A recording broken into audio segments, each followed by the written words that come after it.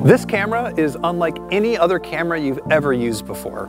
It's made by Google, and like everything Google makes these days, it uses machine learning to do something pretty special.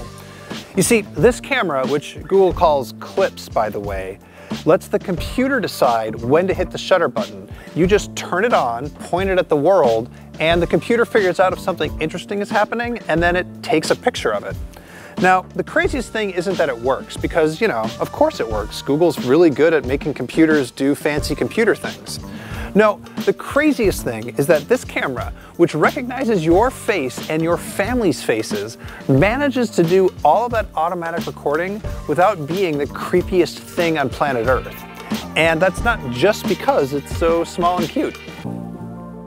Here's how it works. Like any phone accessory, you turn it on and then you pair it to your phone. And once it's paired, you can just put your phone away if you want to. You twist the lens on the clips to the on position and a little LED light starts blinking to let you know that it's on and it's looking for something to record. The idea is that you're just going to set it down or clip it to something and let it do its thing. It looks for what Google's algorithms think might be interesting and then it records a little 7 second clip of that thing. It might be of your kids playing or somebody smiling just right or, you know, whatever. The camera also learns over time. It has facial recognition, so it can recognize your face, your family's faces, and even your pets. Eventually, it learns to take pictures of those people and ignore other people. It's smart enough not to record your hand when you go to pick the thing up, and it's smart enough to ignore really blurry shots because you're just swinging it around too fast. But, you know, if you must, you can hit the shutter button and take a picture manually, like an animal. So, yes, this all sounds very creepy, like super creepy. It sounds like a spy camera that learns your children's faces and records them automatically and sends them to Google kind of creepy. Google says none of that is happening. All of the data is stored only on this little camera, fully encrypted, and can only be transferred to the phone that you've paired it to. And all of the face recognition and pet recognition and whatever only happens on the device, too. Google knows pretty darn well that you might be skeezed out by a camera that recognizes your face and decides when to record it all by itself. So it made this thing look really obviously like a camera. It isn't meant to be hidden away, and to be clear, it does not have a microphone. A blinking LED is the universal symbol for you might be being recorded, so Clips has one of those too. It's also exclusively marketing this thing to parents and people with pets. Here's the pitch.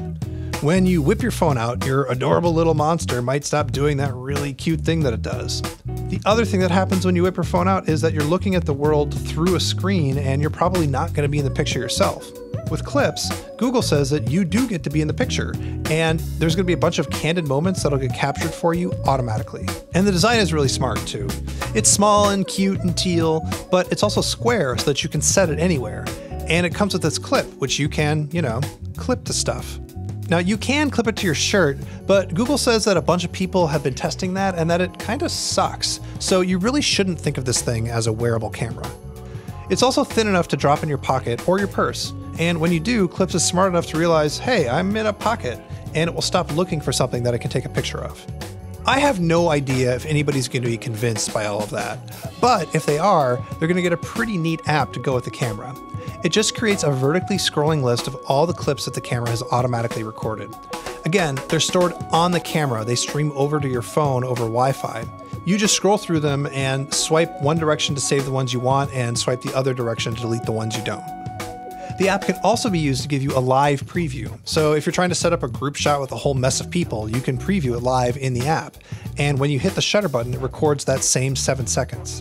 You can scrub through any clip and pick out just the frame you want to save. And if you want, you can even trim any of these longer clips to exactly the length that you want.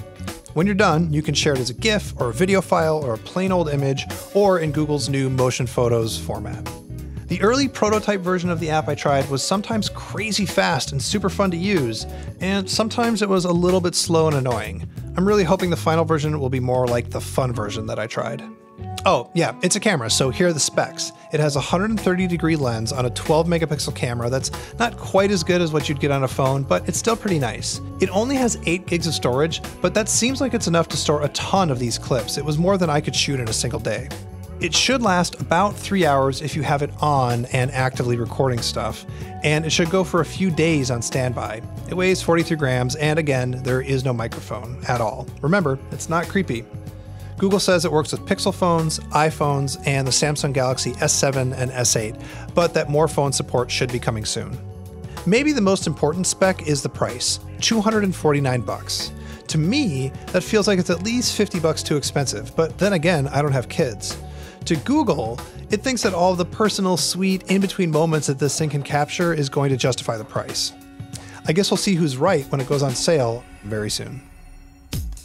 So that's clips, but who's this thing for? Well, like I said before, Google says it's for parents and pet parents because pet parenting is definitely a thing. And you know what? That's true.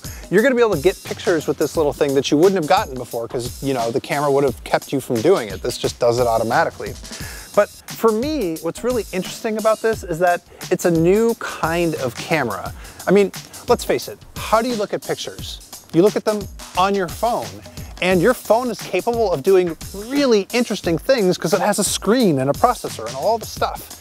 And not a lot of cameras are taking advantage of that new way of looking at pictures by making them move and loop and turn into GIFs and the whole shebang. And this camera does that. It's not a GoPro, it's not an action cam, it's not a spy camera or a security camera. It's something I think genuinely new. It's, um, you know, it's an adorable little glimpse at the future of photography.